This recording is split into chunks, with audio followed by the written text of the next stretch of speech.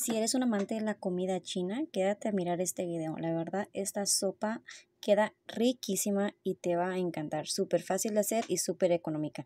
Así que vente, acompáñame a ver el procedimiento. Bueno, pues el día de hoy vamos a estar haciendo lo que es un lo mein con vegetales y para esto vamos a ocupar una taza de zanahoria picada, una de apio y una de cebolla también picada. Vamos a ocupar lo que es camarones. Yo lo que hice aquí que los corté en corte mariposa, pero ustedes los pueden cortar como ustedes gusten. Vamos a ocupar también lo que es brócoli. Ah, eso va a ser a su gusto la cantidad. Vamos a ocupar también sopa, ah, ya puede ser de espagueti o fettuccini, lo que a ustedes les guste. Y vamos a ocupar estas cuatro salsas. La salsa de ostión que pueden comprar ustedes, la pueden conseguir en los mercados chinos o orientales. Salsa de soya, salsa inglesa. Y vamos a ocupar también este aceite de sésamo para cocinar. Vamos a tener nuestro sartén ya, ya calentado. Ah, traten de usar un sartén que tenga espacio para que no se les vaya a desparramar. Vamos a agregar un poquito de aceite de sésamo. Y de aquí vamos a empezar a agregar los ingredientes, por ejemplo, los vegetales que tardan más en, en cocerse, que es la zanahoria y lo que es este también el apio. Lo vamos a poner los dos juntos y lo vamos a revolver muy muy bien para que se cocinen a fuego medio. En sí es, un poquito difícil de grabar con una mano y tratar de cocinar, pero pues yo lo hice lo mejor que pude para que alcanzaran a mirar. Aquí pasaron como unos 5 minutos más o menos y desde, como ven, lo, lo único que estoy haciendo es mezclando todos los ingredientes que se cosan bien. Ya que hayan pasado unos 7 minutos, agregamos lo que es la cebolla. Como pueden ver, la cebolla la corté en unos cuadritos más grandes, no tan pequeños, porque la cebolla como que se encoge un poquito cuando ya está cocinada. Y también vamos a dejar unos 5 minutos también este cocinar. Si ustedes quieren agregarle también otros vegetales, también pueden hacerlo. Puede ser como hongos o pueden ser también este ejotes, lo que ustedes quieran. Aquí dejé otros 5 minutitos para que se cocinara muy bien esto. Recuerden que tiene que estar a, temperatura media más o menos. Y aquí agregamos lo que es los brócolis. Los brócolis los agrego al último porque a mí me, queda, me gusta que estén cocinados pero que queden un toque así como crujientitos. Ya ven, cuando van a comer a la comida china siempre están cocidos completamente pero tienen ese toque así como crujientitos muy ricos.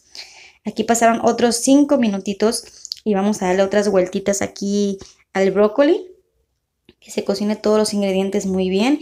Yo mientras que estuve haciendo todo esto, yo estuve cociendo ya el espagueti en agua para proceder, para este, adelantar un poquito más el procedimiento. Aquí por último, chicas, vamos a agregar lo que es el camarón. Porque el camarón, como ustedes saben, pues es muy rápido de cocinar. Si ustedes van a usar carne, entonces la carne la van a guisar primero que todos los ingredientes que hicimos. Primero que la zanahoria y todo eso, vamos a guisar primero la carne. En este caso el camarón es muy rápido de cocerse, en unos 5 minutos está, así que por eso lo hice así. Y aquí tengo ya la sopa ya preparada, ya la escurrí y todo ya está lista solamente para echar aquí cuando ya estén los camarones listos. Si tienen una tapadera pueden taparlo también para acelerar el procedimiento. Ok, miren, aquí pasaron como unos 7 minutos ya y los camarones ya están prácticamente cocinados. Agregamos lo que es el espagueti.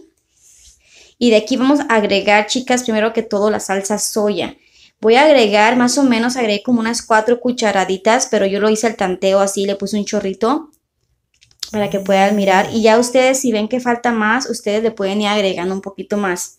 Eso ya depende del sabor de cada quien, a cómo le guste de cada quien. Puede que le agregue mejor unas 5 cucharaditas más o menos.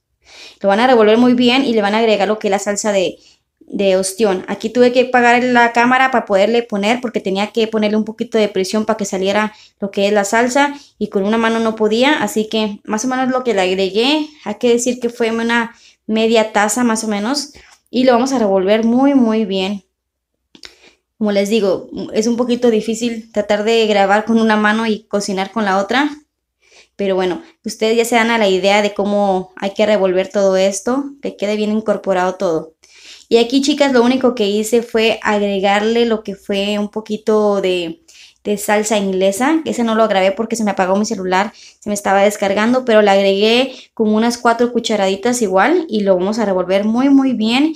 Y pues es todo chicas, es muy fácil esta receta y queda muy rico si andas a las prisas. Eso está perfecto para hacer para los niños. A todos nos encanta la comida china y pues hacerla en casa es mucho más saludable, mucho más barato y mucho más rico. Así que si te gustó este video, te invito a que te suscribas, que lo compartas y pues que les haya gustado esta receta y nos vemos para la próxima video, chicas. Bye bye.